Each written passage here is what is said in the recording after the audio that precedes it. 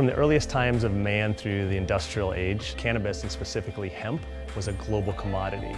Almost every aspect of daily life had some touch point around the cannabis industry. It helped create various trade routes. It was key to many flourishing civilizations, mostly as a medicine, a food, and of course as a textile. Hemp is utilized for apparel because it has these intrinsic values that relate directly to the fiber. One awesome one is it's thermoconductive, so when you touch hemp fabric, it's naturally going to feel cool against your skin. You can make it into all kinds of different textiles and all kinds of different products, and for us, that matters because whether it's an active product or whether it's a casual lifestyle product, it meets all our customers' needs.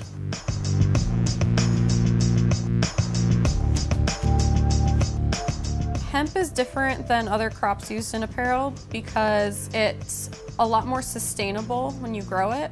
The life cycle of hemp to create apparel, create material out of it, it's a very short period of time. It's a green product because you're avoiding the pesticides, herbicides, all of those types of things that come with a conventional crop. It's naturally antimicrobial, so it'll actually kill bacteria. You're going to be cleaner after wearing hemp than you would if you just put on regular pants.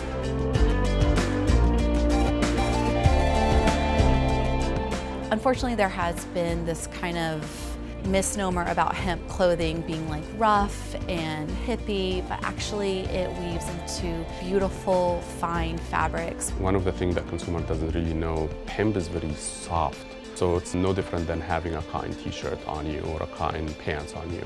Everything from a fashion garment to an actual active apparel garment, it has great properties. We're thinking in that farmer market mentality of saying, where is this coming from? What was the impact? And for that to be successful, it requires a whole bunch of thoughtful people always asking those questions and challenging each other. When a consumer purchases hemp fabrics or products, they're really doing a lot to help the environment, whether they realize it or not. There's not many fibers out there in this synthetic world that we can say that about. It's kind of a wonder crop.